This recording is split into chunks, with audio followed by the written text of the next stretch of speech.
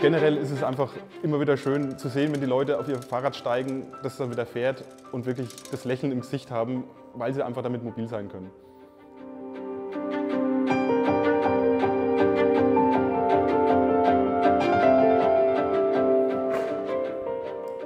Hallo, ich bin Thomas. Wir sind hier in der Fahrrad-Selbsthilfewerkstatt des Umsonstladens. Wie ihr im Hintergrund seht, gibt es hier einiges an Fahrradteilen. Das Konzept, Konzept, funktioniert so, Leute können vorbeikommen mit Kleinigkeiten an ihrem Fahrrad. Am besten, wenn sie Interesse haben am Reparieren, können sie mithelfen.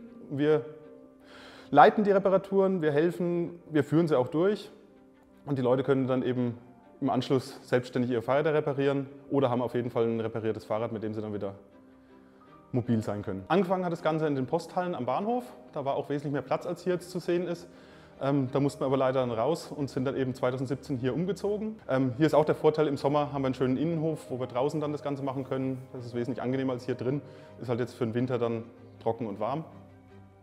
Und entwickelt hat sich das Ganze eigentlich mehr oder weniger auf gleichem Niveau. Es kommen jede Woche Leute, die mit ihrem Fahrrad kleinere Probleme haben, die wir eben hier reparieren können. Oft mit Fahrrädern, wo es sich nicht lohnt, in eine Fahrradwerkstatt zu gehen, weil einfach der Wert vom Fahrrad so gering ist, dass eine halbe Stunde Monteurzeit von dem Fahrradmechaniker einfach die Kosten schon übersteigen würde. Und da können wir eben hier helfen.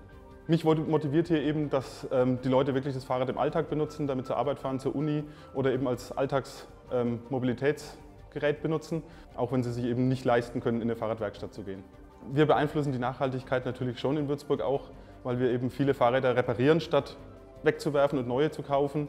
Und dadurch wird wirklich Schrott oder Müll vermieden und die Leute können weiterhin mobil bleiben, auch mit geringen Kosten. Und auch nicht nur Fahrräder, wir haben auch andere Kleinigkeiten, sei es der Ball, der platt ist, den wir aufpumpen können, oder sei es der Kinderwagen. Solche Kleinigkeiten sind eben, wo wir hier einfach lieber reparieren, statt wegzuwerfen. Ich heiße Romeo Luvava Ndonzwao, aber jetzt ich habe einen originalen Namen bekommen, Gute Laune Mann. Ich bin hier, weil äh, ich komme immer jeden Donnerstag, der Thomas äh, beschäftigt mit dem Fahrrad und ich finde das so toll. Und der Thomas mag das wirklich sehr gut. Heute ist äh, Anfang, ich bin gekommen wegen des Kinderwagen. Ich wollte das packen, aber so wie das ist, kann man nichts packen. Deswegen ich wollte der Thomas mich helfen, das Kleine zu machen, das zu packen.